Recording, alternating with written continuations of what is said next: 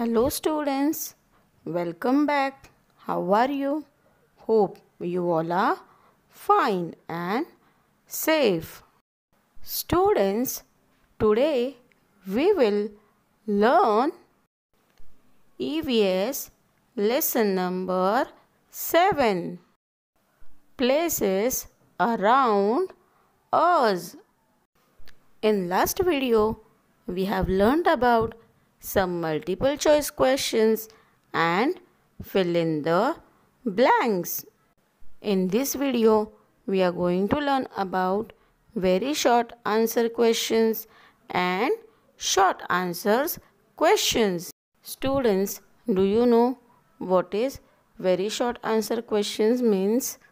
It means you have to write the answer in one or two sentence.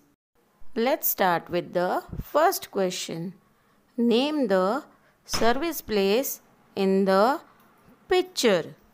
Name the service place in the picture.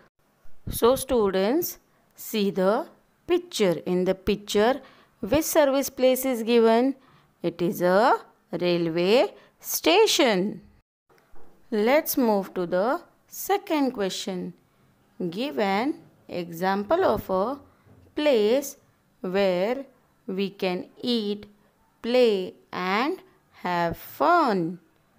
Give an example of a place where we can eat, play and have fun. So students, do you know which is the place where we can eat, play and have fun?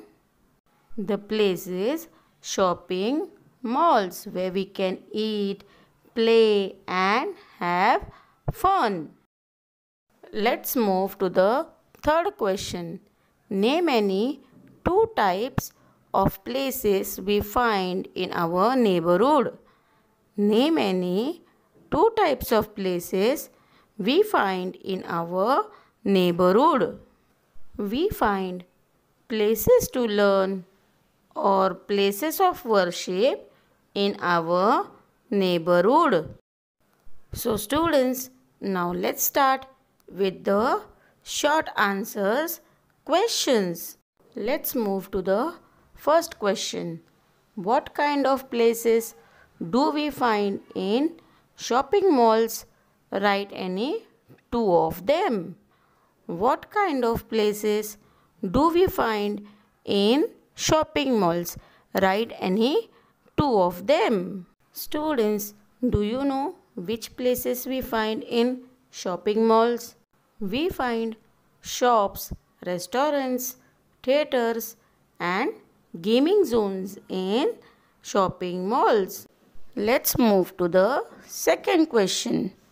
Why do we go to places of worship?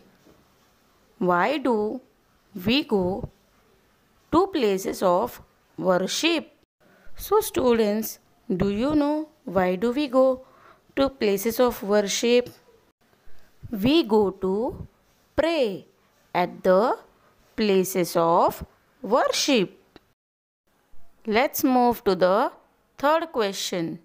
Where do we go to watch new movies? Where do we go to watch new movies? So students, do you know where do we go to see new movies? We go to watch new movies in a movie theater. So students, in this video, we have learned about some very short answer questions and short answer questions. Hope you all have understood. Thank you.